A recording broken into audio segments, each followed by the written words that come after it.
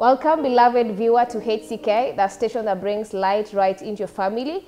It is our program, A Moment at Jesus' Feet, where we seek to study the Lord's Word and find out how to apply it in our lives, that we may be truly furnished for His soon return in glory.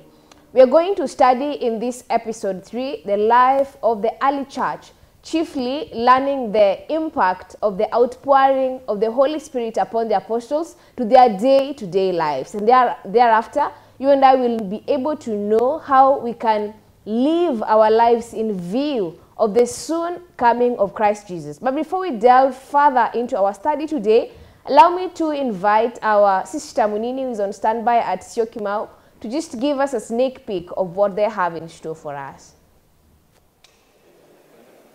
We thank God for the breath of life this day. It's our portion in the land of the living. We are also grateful that you can join us for this Bible study.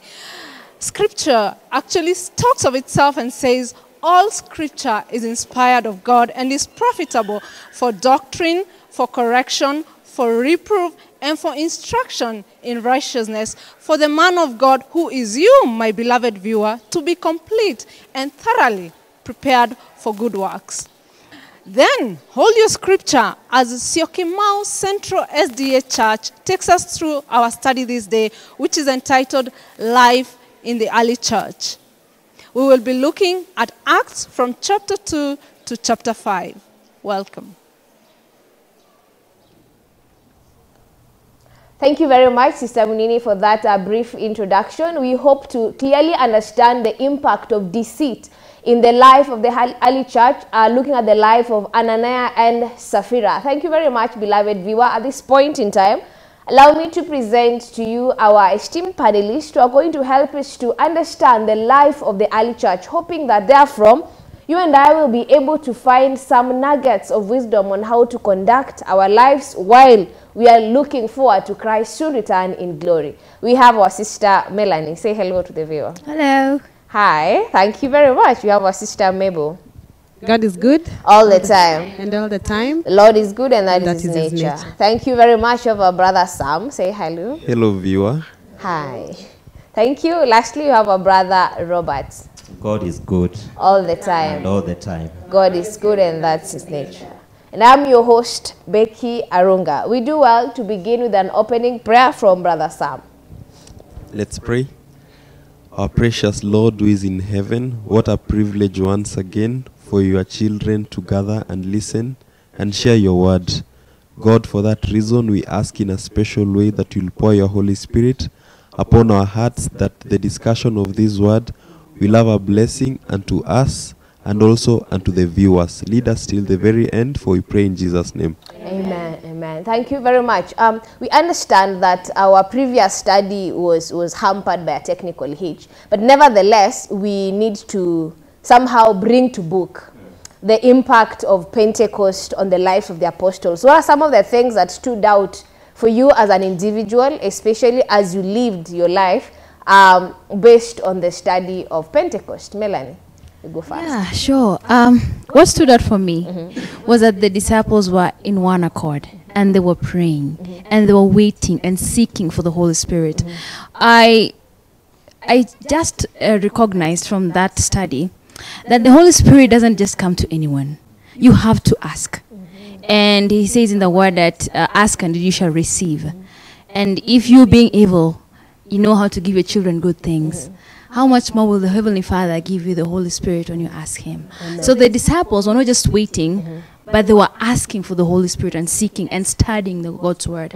So that's what uh, really stood out for me at Pentecost, yes. Thank you very much. Brother Robert, perhaps you comment on something on the gift of tongues as used on the day of Pentecost and its impact in our lifetime today.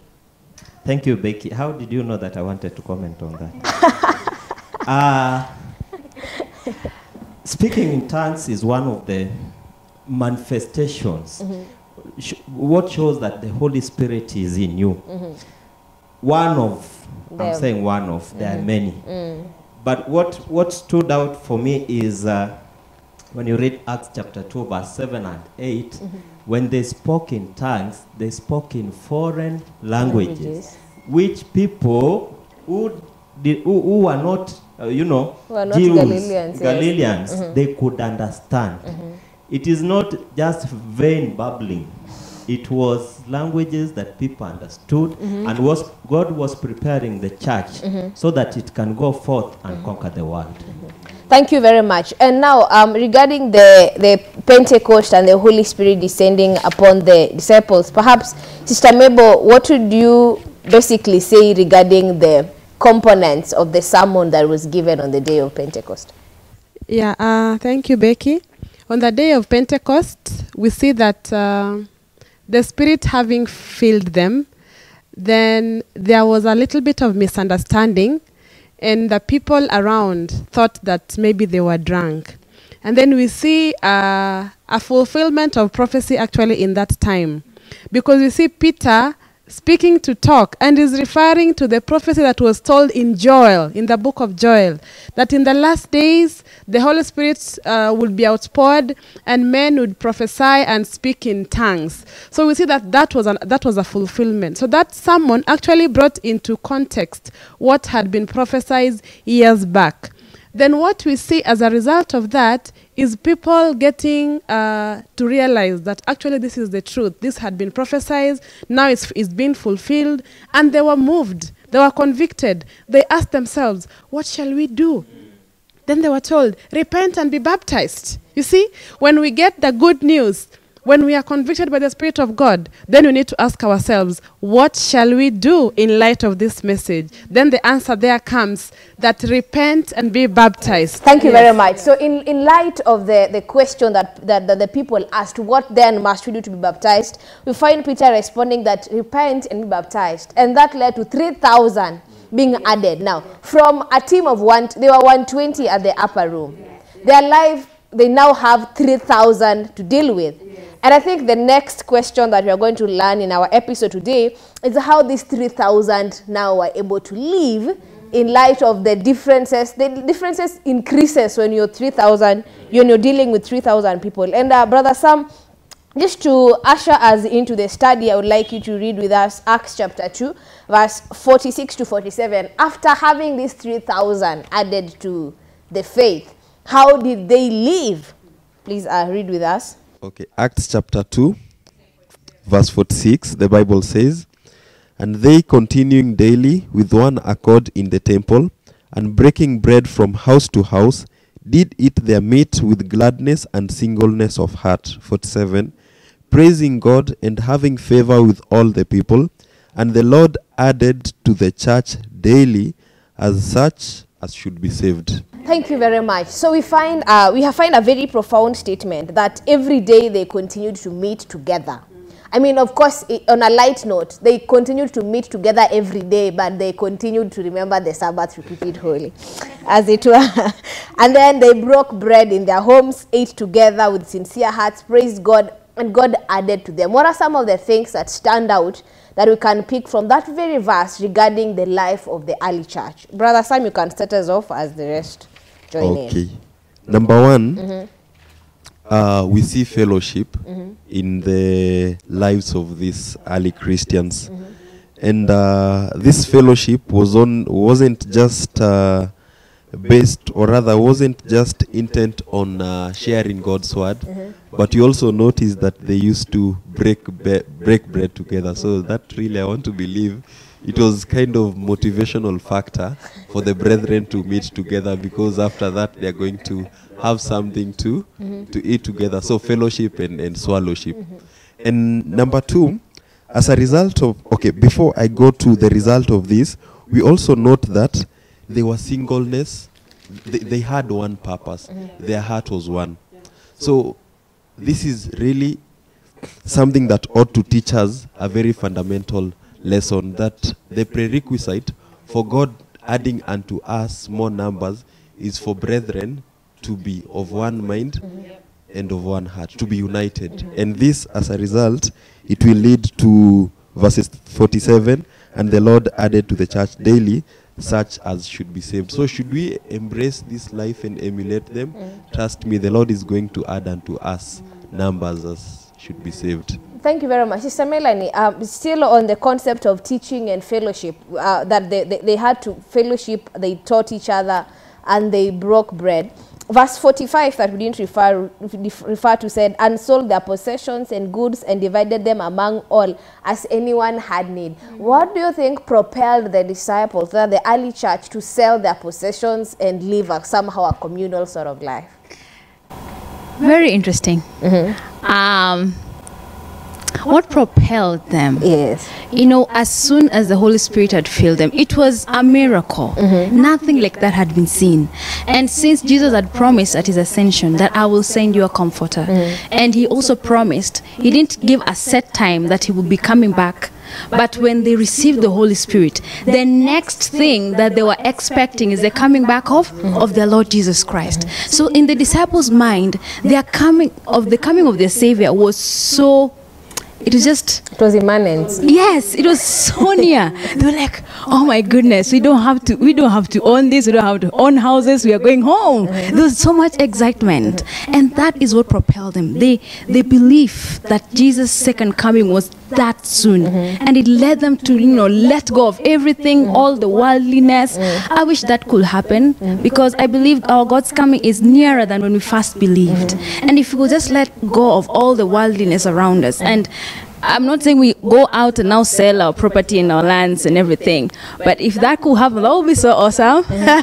but the, the principle is let's lay aside everything else mm-hmm. and focus on what is really important, and that is watching and waiting for the soon, very soon coming of Christ. Thank you. So you realize that they, they had the, the, the, the Christ soon Christ soon return was the chief driver of their selling of their possession, meeting together, and and and fellowshipping and doing every good thing. So I, I gather from your statement that were we to have Christ's second coming at our fingertips or as a driving feature in our lives, then our lifestyles would be different. Wow, in, interesting concept. As we're looking at the Great Commission, uh, Brother Robert, perhaps you may get into this. The Great Commission in Mark chapter 16, 15 to 16 says that in my name you will cast out demons, lay your hands on the sick and they shall get well. And uh, all along, Jesus was the performer of the miracles. But then Acts chapter 3 brings us into something interesting. We find the beggar at Solomon's porch, and Peter intently and steadfastly looks at him and says, Silver and gold we have none, we have none, but in the name of Jesus Christ of Nazareth, rise up and walk. Now, I do not see any other record of Peter healing anyone. But what do you think pushed Peter to try that joke? That joke that worked. It was not a joke. You see, after Pentecost, uh, the book uh, of uh, Matthew, chapter uh, uh, 26, I believe, Matthew 10 16. If you read to around uh, verse 19, it tells you it tells you that Jesus told the disciples that the Spirit will tell you what mm-hmm. to say. Mm-hmm. Don't be worried what you'll be saying mm. when you reach to the synagogues and all that. Mm. And so to Peter, it was actually not him. It mm. was the Spirit that was in him that was doing it. But So it's the spirit that was telling the man there that silver and gold we have none, but in the name of Jesus rise Yes. up. That's interesting, yeah. And, and, and you see, Jesus does not ask of you what he has not given you. Mm-hmm. And so that's why Peter stands up with confidence. Yes, we have no silver, we have no gold, mm-hmm. but in the name of Jesus of Nazareth, mm-hmm. stand up and walk. And the man actually stood up and walked. And so, through this manifestation of this miracle, many realized that indeed Jesus, who was healing, he is now here through the Holy Spirit. And, and, and you realize in uh, the same book, chapter Acts chapter 3, verse 19, the same question is also asked. Repent. Uh, uh, Peter tells them this that repent ye therefore and be converted. You realize when people have come, the miracle has been performed. What shall we do? Just as Mabel said, mm-hmm. repent and be converted. Mm-hmm. Because then your sins will be blotted out. And, and, and, and, and Sister Becky, this shows that Christ still works in his church, is still active in the life of the, his people in his church, mm-hmm. even up to now, through the Holy Spirit. If mm-hmm. only we can allow him mm-hmm. to work in, us, in our lives. You know, you see, it is not us to use, to direct the Holy Spirit to use us. It is us to allow the Holy Spirit to use us as he deems fit. If the church can allow the Holy Spirit mm. to use her, mm. Then great works will be Now done. say if Robert, now make that statement using Now, your name. let me say it again. If, If I Robert, can allow- if I no. can allow the Holy Spirit to work in me, Yes. even the selling of possessions mm. that we saw that they were doing mm. will not be a hindrance between me and saving a soul, mm. because you cannot put a value on a soul. Amen. So it requires us to stand on the promises of God and yield ourselves to his use. Now, Peter and John have, through the Holy Spirit, healed this young man. Remember in uh, Acts chapter 2, verse 47, we read that praising God and having favor with all the people. Now, my question simply is Did the favor with all the people continue in the life of the early church? Oh yeah, uh, it it was short lived because. Uh, but before we go to the opposition that came and uh, the favor having been short lived for at least for a, for for a time, I wanted to add something on the healing of the lame man. A significant lesson comes from there that it's not a question of money. It's not a question of money. For us, God does not even require us to have money to do something for Him. God just wants us to be willing to be used of Him. God wants us to be used. You, saw, you see, like Paul and Peter and John, they had given their lives to God. They were witnessing for Jesus, testifying of what they had seen with Jesus. And now they have come to a point where someone is in need. And they realize that the need that this person has is bigger than the need for money. So it's never about just a, a few shillings or something. But we could give Jesus to other people, it would change their lives more than a few, a, few more shillings. So then now uh, we look into the whether or not the favor that they found with people. Okay, okay, okay, that's As we fine. digest the issue that it is not our silver and our gold that God requires really, but Christ has sent us to be witnesses of who He is. And in that witnessing, He has promised to be with us even unto the end of the age. And in that witnessing, He is also promised to give us the Holy Spirit, who is our helper, who is our comforter, whom Scripture describes as He will come to convict us of sin, of righteousness, and of judgment. Now, beloved viewer, we take a short break that we may ponder over these issues that we have brought out. Do not go away. Our sister Munini is on standby to bring to us our complementary lesson from Syokimau. We'll be right back. God bless you.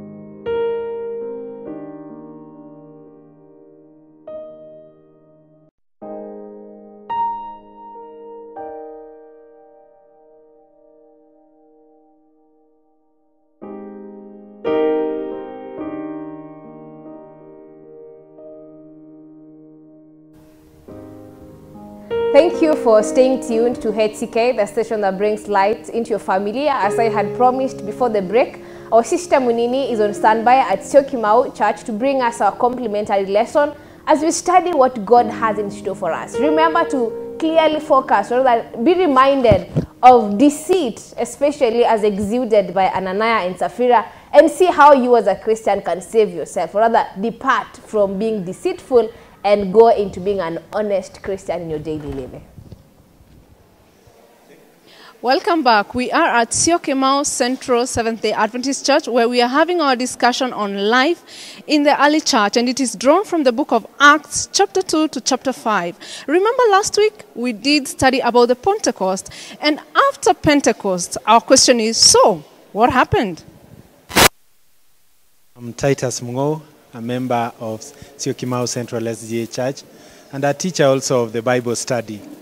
Just important is that uh, after Pentecost, we find the apostles really strengthened, inspired, because the disappointment that was there when Christ died, was again renewed in a way that there was no longer disappointment after resurrection, but now the reality of the Holy Ghost filling them, coming and empowering them to take the gospel out. So then, when I look at uh, this study now, I see the prayer, fellowship, and prayers in the church that after Pentecost, the apostles steadfastly moved now into studying what we are calling apostolic teachings, fellowship, breaking of the bread, and prayers, which we summarize into two. It was fellowship and prayers. But uh, uniquely, really, which I would like to see is that private fellowship that was happening here or the fellowship that was happening in the early church was really in private homes that you would find that the disciples will meet together call even the all apostles discussing the word of god at home and for the teachings they would do the teachings in the temples. There were porches above the temples where rabbinic kind of teachings will happen. And so in this way you find like i'll give an example of gamaliel the doctor of law. He would be able to impart some knowledge even using such kind of environments. But for the apostles the teachings that they did in the temple reminds us something that I would like us to know that after Pentecost, they did not contemplate of another religion, but they pursued to learn. What was it that happened in the Old Testament, what happened even up to the death and resurrection of our Lord Jesus Christ, and where are we going as a church, which is why they studied more. And uh, when you read, uh, like the book of Acts, chapter 2, verse 42, it leads us to know that these studies, these teachings, and all these empowered them, prepared them for the second return of our Lord Jesus Christ. But I need also to take something in our understanding of this study is that when they were together fellowshipping and having even the ceremonies, you know, remember in those days, they continued in Acts chapter 3, verse 1, with the ceremonies. They did not leave that. But coming back, even James chapter 2, verse 2, they still continue to worship in the temples, in the synagogues on Sabbath. So you would see this scenario that we have the temple synagogues for uh, teachings, rabbinic teachings, apostolic teachings,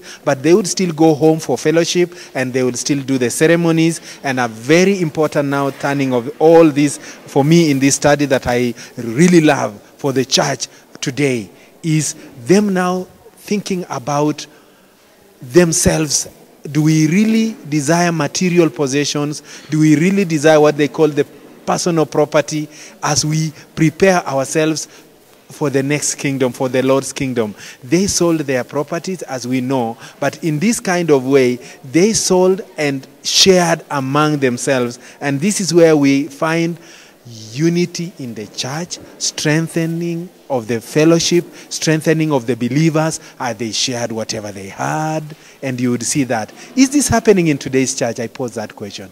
Do we see today in our churches the fellowship, ability of members to come together and say, What do I have? What can I share with my friend? Is this going to really encourage us as we go forth? And uh, maybe just to bring out also to uh, the viewers is that the Lord is calling on us. Think about the early church. How did they fellowship? They did it in different places. I have seen in our uh, society today or our, our community today, we go what we call prayer cells at home, neighbors coming together, members of the church joining us, and then we worship together. Then in churches also now we have groups where we even call welfare uh, groups that we collect some money, we collect resources to support the needy. And I see this that was happening in the early church. And so let's see this today. And uh, there is a question that was posed really that when we look and I see today, even myself and I look at my colleagues, what do I consider the most precious thing that I need to share? Perhaps it is just a garment. It can be money. It can be what to foster the gospel. Let's do it, for the Lord is coming soon. the acts of the apostles that are performed in the name of Jesus Christ as they continue to speak about this Christ who died and this Christ who resurrected. But this did not augur well with the leaders in those days, and it brought a lot of friction. Let's hear about this friction that happened because of the apostles. My name is Davis Rogoncho. I come from Syokimau Central's Day Church. The rise of opposition in the church, you know, the apostles have been endowed with the power of the Holy Spirit. They are performing wonderful acts, marvelous deeds, miracles are being performed. And so the leaders in the church, the Jerusalem church, the Sadducees and the Pharisees, are now feeling bad that the name of Christ is being preached, and through that name, many, many, many people are getting healed. Many, those who are lame, like now in chapter 3 of Acts, those who are lame were getting their bodies back. And so there's that opposition that is rising from the church itself, the leaders of the church against the apostles, the message they are preaching. For instance, the, the part of this uh, leaders of the church, the Sadducees, for instance, never believed in the come in the, in the, resurrection of Jesus Christ. So when the disciples are going and preaching about the resurrection of Jesus Christ, the, the, the, the, the, leaders, the Sadducees specifically, are not happy with this thing. And so they the, the, the, the two disciples, to be specific, Peter and, uh, and John, are apprehended, but, and they are put in, they are questioned. And when they are questioned, there's something that is so important that Peter says. He and says that in, in Acts chapter 4 and verses 20, 19 and 20, sorry. 19 20 says that these men, Peter says that if these things that we are doing, they are not pleasing before your eyes. Judge within yourselves if they are of God. But for sure, these acts, the lame person walking and many people coming into, into Christendom, it, it, it proves that there is the power of Christ in, in, in, in, in us. And this is the power that is making us to do what? To preach. And so, even today, even today, in the church of today, such opposition may arise. When people are coming up with the right message to preach to the world, there are some leaders who are not happy about these messages that are being preached that many souls may be saved. For instance, Christ, when he was leaving this earth, and actually when he was commissioning the disciples to go out, he says that when you go and preach, you will face opposition. And this is actually what was happening to the early disciples, and it will exactly happen in these last days. So, when such oppositions are coming, when such uh, leaders may rise against the word of God, one thing we can tell them they judge amidst themselves. If it be of God, that they may continue going against us, let them continue. But the assurance is that those who will stand for God will not be left. So it's, it's, it's, a, it's a hope for all of us who are preaching that when we stand up, many men will come against us. But the truth is that Christ has overcome all. And if he, if, if he overcame, all of us will also do what? Will also overcome. That's an encouragement to us as those who have been left with this everlasting gospel to tell the whole world about Christ. We see that Peter and John had earlier been arrested. And this is the second time that they're getting arrested as we continue with our study into chapter 5. Question is, what exactly happened during this time? during the second arrest of the apostles. Most importantly, at this point, the difference between the first and the second, the first arrest, it is only Peter and John who were arrested. But in the second arrest, the whole of the apostles were arrested. The reason as to why they are arrested does not differ so much from their first arrest because they were proclaiming the name of Jesus and doing wonders and signs, which increasingly did not go down so well with the Sanhedrin.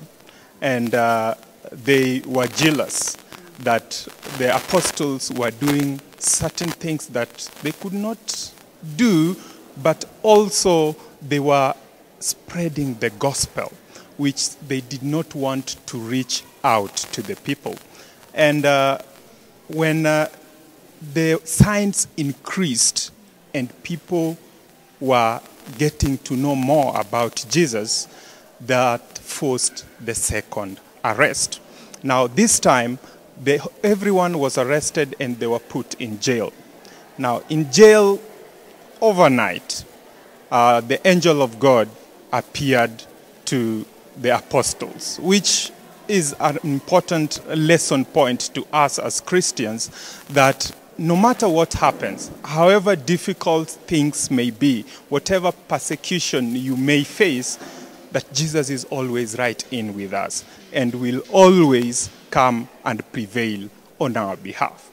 So the angel of God appears and releases the apostles, but giving them an instruction that go to the temple and preach this life to the people.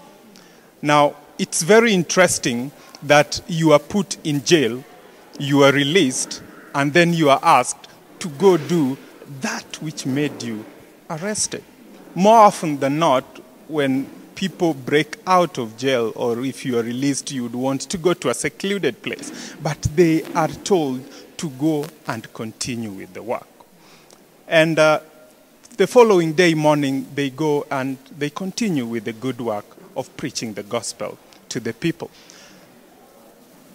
And the Sanhedrin come with their associates, uh, of course, under the leadership of the high priest. The Sanhedrin was uh, some kind of a, a, a, a council or a group of elders, very eminent people in uh, Israel uh, at that time. And, and these people came together to, they had jurisdiction on, on, on matters religion, had jurisdiction on civil matters, and they also had jurisdiction on criminal matters. The Sanhedrin was in two, uh, two parts, if you may the lesser Sanhedrin and the greater Sanhedrin. What every time there is a reference without the qualifying of the lesser or the, the greater, then the assumption is it is always the greater. The Bible talks about the Sanhedrin, and so through and through, we get the view that they were presented before the greater Sanhedrin, which had a, a collection of 70 elders plus the priests 71. The others had 23 or 21 uh, members. Now, they come and settle in the morning and they send out for the apostles to be brought before them. Unfortunately, when they reached the, the, the, prison cells where they were, they were held, and, and these the Bible records in, in, in Acts chapter 5 that they were put in the common jail. The common jail was a place where every hardcore criminal was put in together. And it is very humiliating to learn that the people who were spreading the word of God were put together with, with criminals, which, which was very humiliating on their part. Now they go, uh, they, they, they, command the doors to be opened because they were closed and, and, and there were guards waiting uh, at, at, at, at, the entrance. And the, the place was empty. And that shocked not only the prison officials, but also the head of the Sanhedrin.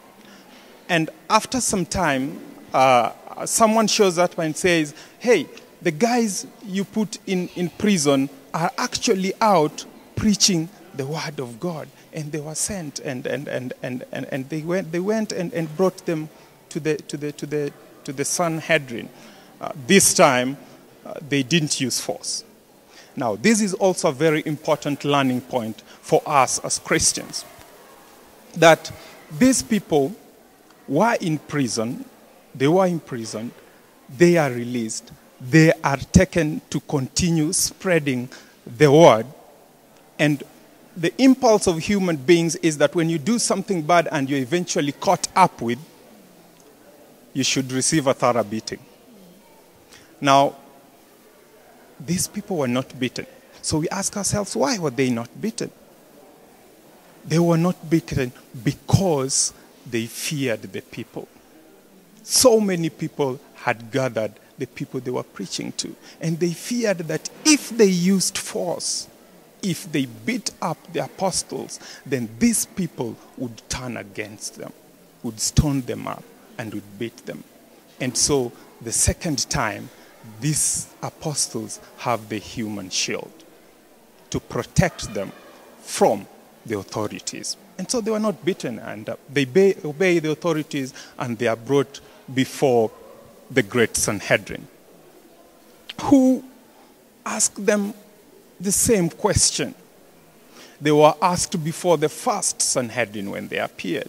And the bone of contention was why they were preaching the word of God, especially through the name of Jesus, because uh, there was contention. In, in, in, in earlier Israel and the early church, the Sanhedrin also had the authority to proclaim who is Messiah and who is not Messiah. They, had that authority. And so those are some of the things that actually even brought Jesus before the Sanhedrin.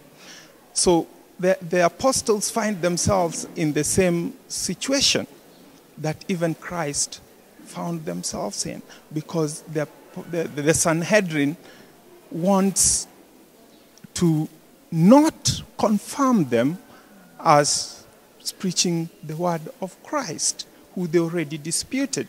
And, and, and, and they are asked uh, questions why they are doing, they're doing so. And, and, and Peter, who, who, who was, if you may, in, in, in, in, a, loose language, you'd call him the head boy or uh, the head of the pact. He was the leader of the apostles at the time. And, and, Peter says that we'd rather will follow the word of God than that of man. And, and, and this infuriates the council or the Sanhedrin. And, and, and, and Peter doesn't stop there. Uh, Peter goes down to break it down for them how it started during the times of Jesus and how they actually crucified him. Remember, the Sanhedrin never wanted the blood of Jesus upon themselves. And so you reminding them that actually it is you who killed Christ and the, his blood will be upon you would be something that they wouldn't want to hear. Now, they got infuriated, and at that point, they wanted the apostles. Now, remember that even though the Sanhedrin had that much far reaching power, they had limitations. During the time of Jesus, they were limited to not, they could not pass judgment on someone to be killed. Now, fast forward to the second arrest, and now they want to kill the apostles. Something that at that time was a reserve for the governor of, of, of, uh, of, the, of Roman, the, the, the Roman governor, is the one who could pass that kind of a judgment. And that is why during the arrest of, of Jesus, Jesus was taken to, to the governor uh, for, for the governor to pass such a ruling on it. So you see, number three lesson we are learning here is the inferiority that the Sanhedrin had, the hatred, the jealousy drives them to even do things that were not permitted by law. The Sanhedrin could not pass the judgment of death upon someone, but here they want to kill the apostles. Why? Because of hatred. They want to kill them. And at this point comes the great teacher, uh, Gamaliel. Gamaliel was a reputable man, a Pharisee who had developed uh, over the time eminence in uh, the ancient time and was widely respected. Now, Gamaliel stands up and tells the Sanhedrin two things. The first thing, he gives a reflection of two occurrences which had occurred before. And then he summarizes his presentation and tells them that these people, if whatever they are proclaiming is from man, then it will wither away. But if truly they are proclaiming the word from the living God, then not even you will stand in their way. And at this point, the Sanhedrin appeared confused. Confused and convinced. Why? They are convinced because they can see some sense.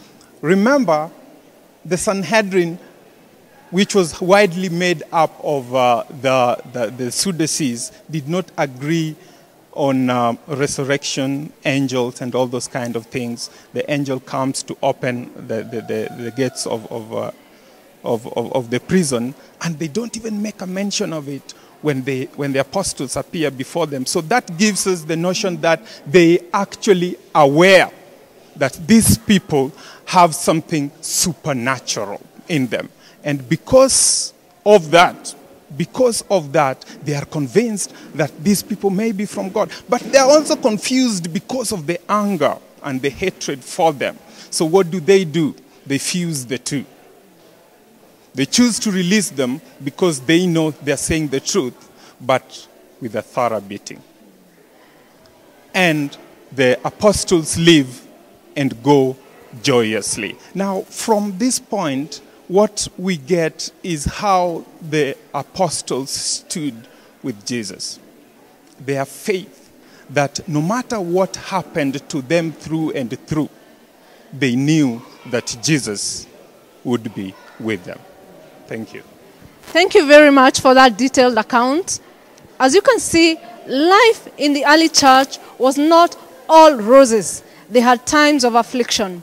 But the words of Christ in Matthew 28, when he gives the commission, go, are coming very true. And he said, And I will be with you to the end of time. Beloved viewer, we have come to the end of our discussion today, but I do believe and hope that you have been blessed. Kindly join us in our next study when we shall be looking in the chapters of Acts 6 to chapter 8. Till then, I have been your host, Munini Mutuku, Syokimau, Central SDA Church. Back to the studio. What a beautiful discussion, Sister Marina. Thank you very much. We are much more guided, much more enhanced, much more prepared to live our lives as Christians in these last days. Beloved viewer, we take a short break, but we'll be right back to wrap up our discussion on the questions that are really pertinent in the early church. One of them being um, how they dealt with opposition. Um, secondly, how God dealt with deceit from Ananias and Sapphira in the early church and why he dealt with it the way he did. And then lastly, we shall look at the confidence that uh, the early disciples had in Christ Jesus, that even when they were taken to prison, they were not afraid of confessing Christ Jesus. Do not go away, we will be right back.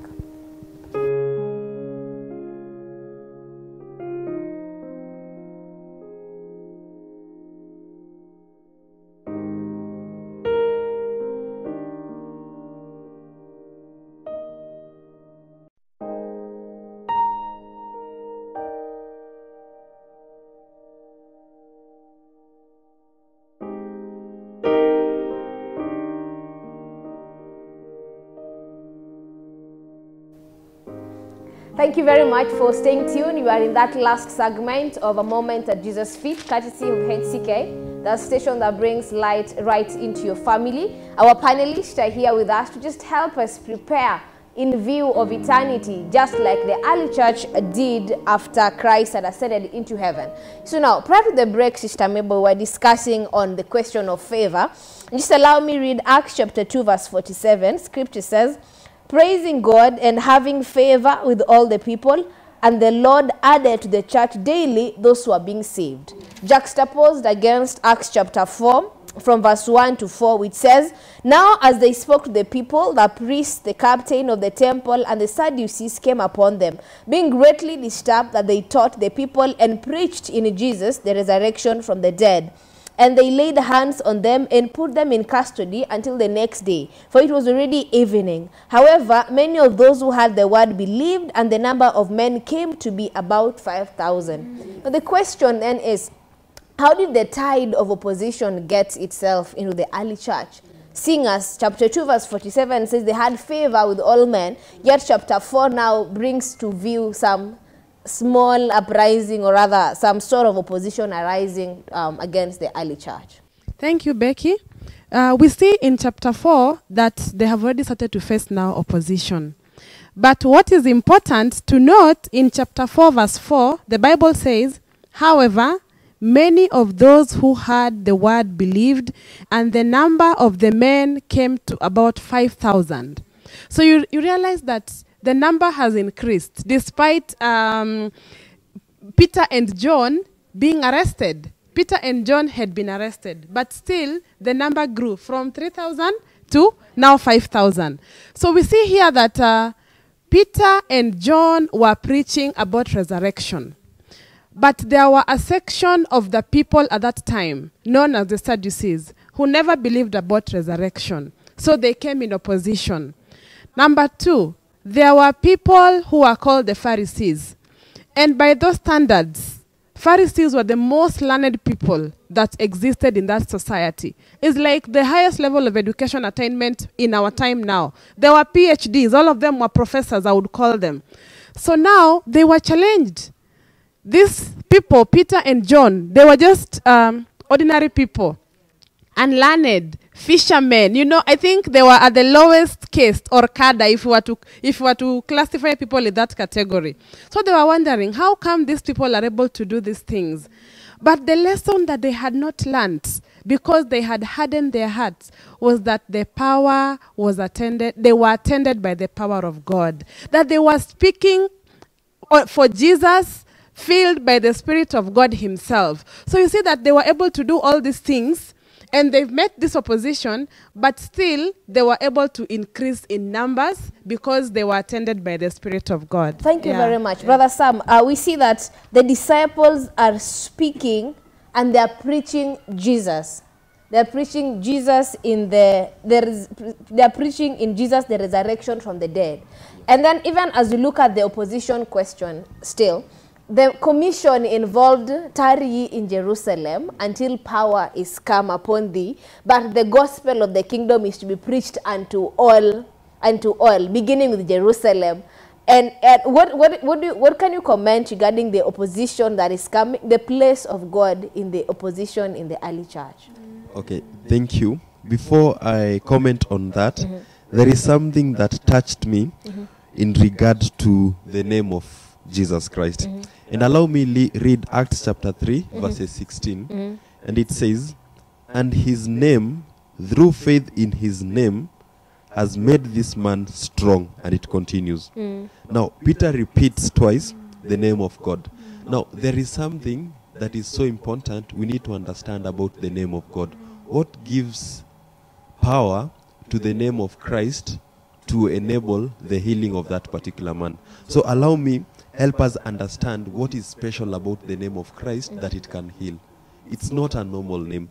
And so, I will take us to Exodus, Exodus chapter 34 so that we can understand what is special about the name of God. Exodus 34, and I'm going to read verses 5 and verses 6. Now, this is what the Bible says in the King James Version. And the Lord descended in the cloud and stood with him there and proclaimed the name of the Lord.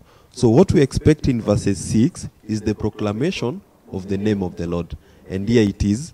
And the Lord passed by before him and proclaimed, The Lord, the Lord God, merciful and gracious, long suffering, abundant in goodness and truth.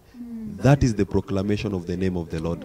Merciful, goodness, gracious. So whenever you consider mercy, you are simply considering the name of the Lord. So what gives power to the name of the Lord is the character therefore because thereof because the name of the Lord is is the character. So when you consider the power of mercy, you're considering the power of the name of the Lord. That is it. So that's why we pray in Jesus' name because of the character attributed to the name of to the name of the Lord. So back to your question, Becky. Uh, what is the place of God in this in this opposition? And I thank God He led my brother into reading mm, Matthew chapter 10, and it said, uh, "Don't worry about what you are going to say when you will be tried in the courts, because the Holy Spirit will give you the very words." So the place of the Lord is to strengthen you and to make you able to stand against all that opposition. So really, we can't worry because the battle is not ours, but it is the Lord. So once you submit to Jesus Christ, He will give you strength and words to speak against people who accuse you. Thank you very much. So how, how did uh, Peter and John uh, dispel the opposition? Sister Melanie, how did Peter and John counteract the opposition that attended to them, especially after healing the, the man at Solomon's porch? Um, it's funny. I did not expect them to react that way.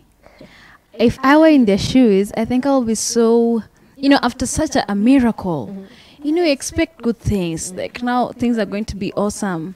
But you find that immediately after that, or soon thereafter, they are faced with this opposition and they are arrested and, and they're taken to prison.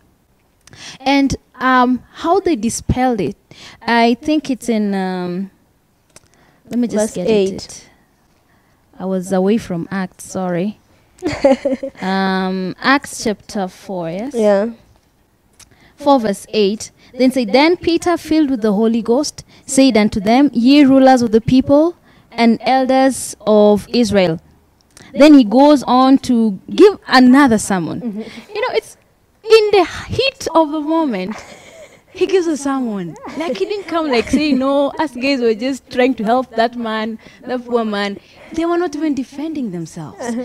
Every opportunity was preach preach preach. And if we could do that uh-huh. when faced with adversity when you have a problem and you find opportunity in mm, that you mm. know that is how they dispelled it. And god God favors mm-hmm. those who take every opportunity to praise Him mm-hmm. and to reach out to people. It doesn't matter what you're going through. Mm. They were going to go into prison, mm. but they didn't. They didn't mind that. Mm-hmm. The opportunity they found was doing what To preach. preach and to those very people mm. who are doing what who are throwing them in prison. So that is how. It's just intriguing their reaction to that. So in a Yes. sense, we find that they used their their setback for, to have a comeback in God.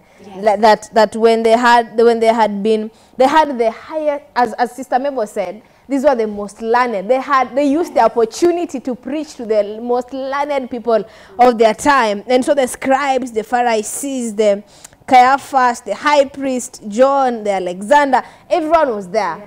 And I mean, verse 8 begins by saying, Then Peter filled with the Holy Spirit, meaning he wasn't presumptuous about it. The Holy Spirit led his sermon all the way through. Thank you very much. Sister Mabel is burning with a, with a great desire as Brother Robert is preparing to tell us about Ananias and Sapphira so that uh, we can continue in this together. Uh, when we read from Acts chapter 4, verse 12, we see that uh, Peter and John are reaffirming that salvation is only in the name of Jesus.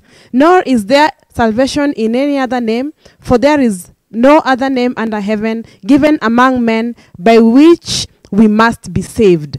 So you see that they are reaffirming that salvation is only through Jesus. And Jesus had said that I am the way, the truth, you know? So, but now, uh, you see that now the Pharisees, they now forbid. Now they told, the, the, in, in, from, verse, from verse 13 coming down, we see that now the name of Jesus is now forbidden. Now, when they saw the boldness of Peter and John and perceived that they were uneducated and untrained men, they marveled, and they realized that they had been with Jesus. And seeing the man who had been healed standing with them, they could say nothing against it. But when they had commanded them to go aside out of the council, they conferred amongst themselves, saying, What shall we do to these men? For indeed, what a noble miracle has been done through through them is evident to all who dwell in Jerusalem, and we cannot deny it. But so then it spreads no further among the people. Let us severely threaten them that from now they speak to no man in this name. You see that now the persecution starts to set in. And, uh, uh, and I think the reason for this persecution also was to make them go away. Because remember, Jesus had told them to, they will preach throughout the world, not only Jerusalem, but it was now their time to go out there.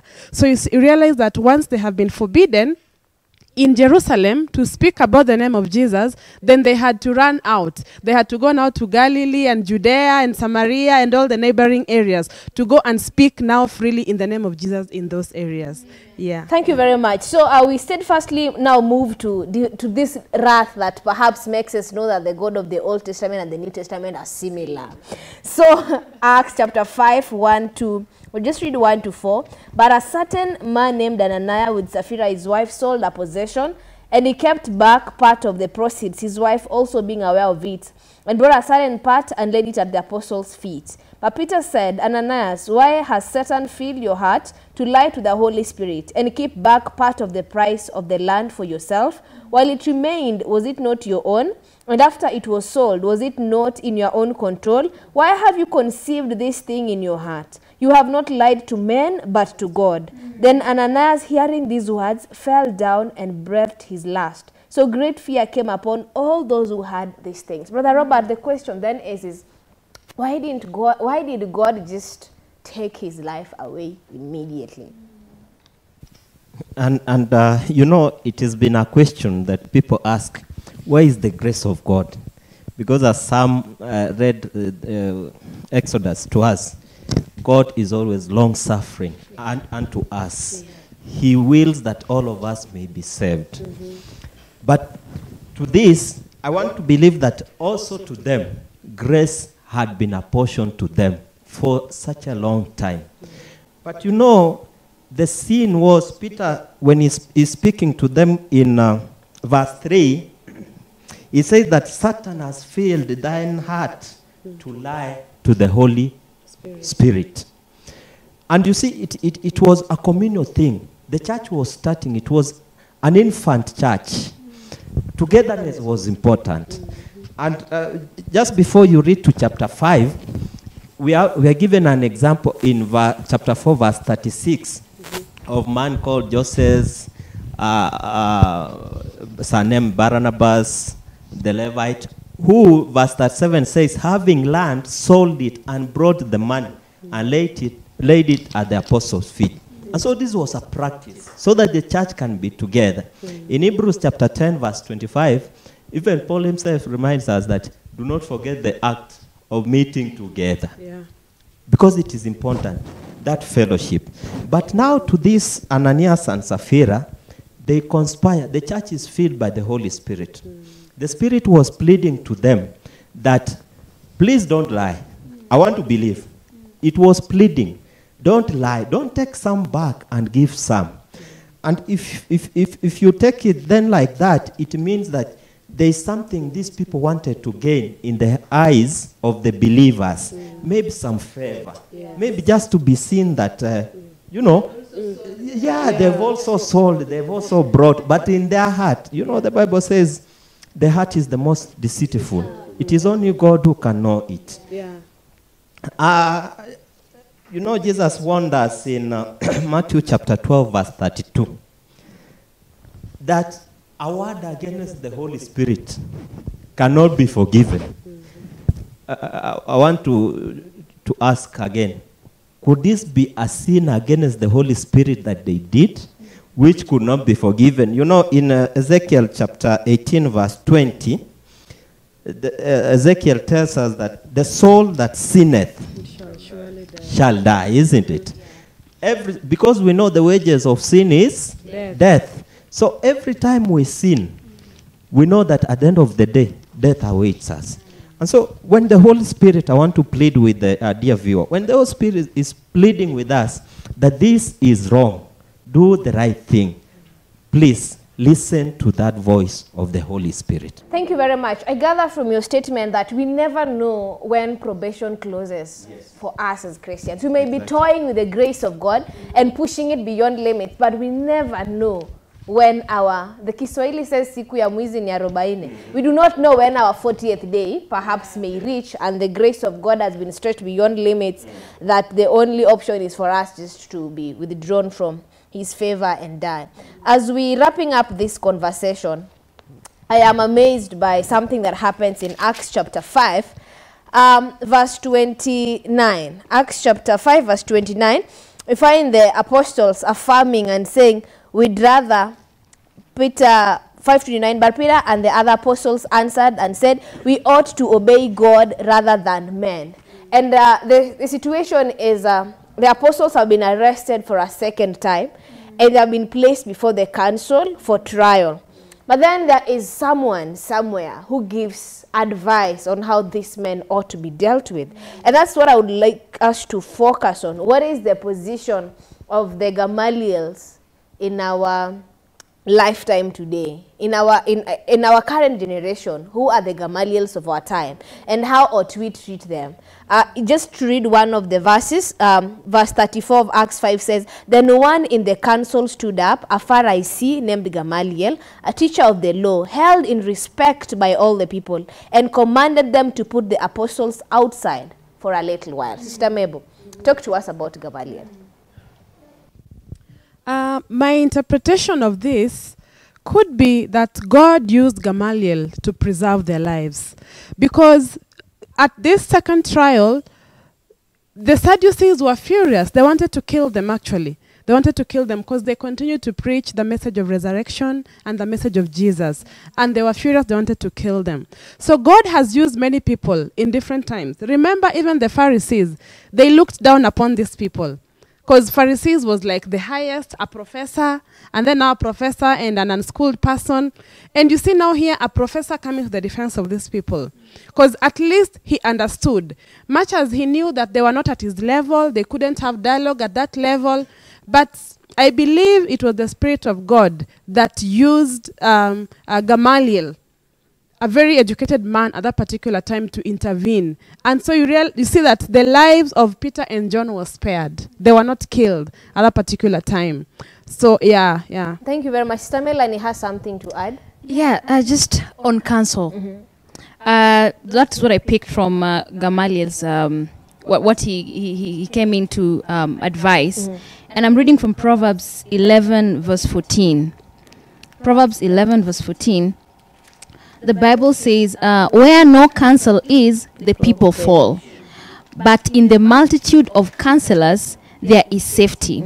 I will just read uh, quickly in addition to that, Psalms 119. Psalms 119. There's something that I came across that really struck my heart. Uh, Psalms 119, verses 24.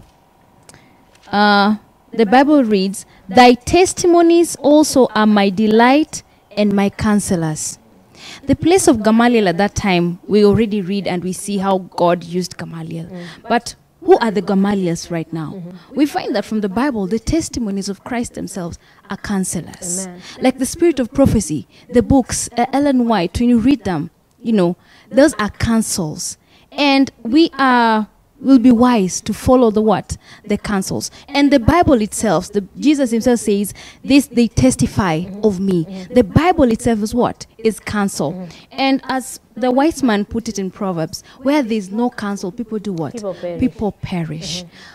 There are some things which are not needful. There are some let me say mistakes that we need not make. I'm talking uh, from the point of a youth. There are mistakes i need not to make all I can do is refer to counsel from the Bible and uh, inspiration and get what counsel says and follow and heed to that. I will spare myself and many people spare themselves a lot of trouble if only we could heed to counsel. So let us listen to the Gamaliel of our time who is the bible and yes, and we will save ourselves a lot of trouble. amen thank you very much brother sam Yes. you've got something to add on that Sure. thank you proceed Uh, there is an English statement that says, "The end justifies the means." So allow me, Becky, and I have a burden for this. I want to give us a practical, a, a practical application or not on the lesson that we learn from Gamaliel. See, there are many brethren in this Christian walk who tend to doubt the genuineness of someone's conversion. So my challenge to that person is you're not the Holy Spirit to know whether that person has been genuinely converted so that you walk around condemning that person. Why don't you praise God that that person is serving God? You see, there are some people, because the past experience of this person is characterized by sin and all those stuffs. So when this person comes to church, you are like, wow, this person is going to come and corrupt many of our brethren. So my challenge to that person is you're not the Holy Spirit to know the genuineness of that person's con- conversion. So praise God because he's in church. Amen. Uh, Brother Robert, you conclude. with, Uh, Yes, just uh, in a bullet. Chapter 5, Acts uh, verse 38 and uh, verse 38 and 39, just still on Gamaliel. 38 says, And now I say unto you, refrain from these men, lest let them alone. For if this counsel or this work be of men, it will come to naught. But if it be of God, ye cannot overthrow it. Lest haply, ye be found even to fight against God. What that means is that, you know, there is an example, there, uh, given two examples actually, of people who came, preached, they got followers, but then uh, after they died, were, their work also died. But he's telling them, if this work is of God, you can't fight God. What do I want to say? There are so many works of men nowadays. You know, even churches, their banner, instead of holding the banner of Christ high, it is the banner of an individual. When that individual dies, what happens to that church? Indeed, every church, every person, every listener should ask himself, wherever I worship, this God that I worship, is it this work of God or of man? Because if it is of man, then you are doomed. Thank you very much. Beloved viewer, it has been a very beautiful interaction with you to just glean our lessons from the early church. It is clear that when the Holy Spirit filled the apostles, their focus was on the second coming of Christ, and that focus propelled them to do everything it takes to fast track the second coming of Christ. The challenge to you and I is how often do we think about Christ's soon return in glory? And after thinking upon it, how does it, how do we live when we know that Christ is coming soon? What do we do about that knowledge? It is my sincere prayer that the knowledge of Christ's soon return in glory would propel us to actively take part in witnessing that when he comes in glory, we may receive him with joy, with glad adoration, as we are caught up with him in the clouds. Sister Mabel, close with a prayer. Let us pray. Dear Father, we thank you so much for your leading. We thank you, Lord, for your presence which is here with us. We pray for a special blessing unto each one of us and for our dear viewer. We pray, dear Lord, that you will speak to them in their hearts, in their homes, Lord, that as they fellowship, O King of Glory, they will seek to know you more. Father, we pray that these words that we have spoken today, may they just be eye openers. May they just raise questions in our dear viewers and listeners' uh, ears and in their hearts that they will seek you, Lord, because you have said that if we seek you, we will surely find you. We pray, dear Lord, that you bless this work, O King of Glory, and use it, Lord, to reach many of the people. May you be with us, Lord, even as we prepare for other sessions, Lord. We pray that you keep and preserve us until another time. We believe all these things and we pray in Jesus' name. Amen. Thank you for staying tuned to HCK. We have come to the end of a moment at Jesus' feet. But you can like us on Facebook, Hope Channel Kenya. Follow us on Twitter at Hope underscore Kenya. And if you missed our show, we have this and several others on our YouTube channel at Hope Channel Kenya. Till next time, be blessed.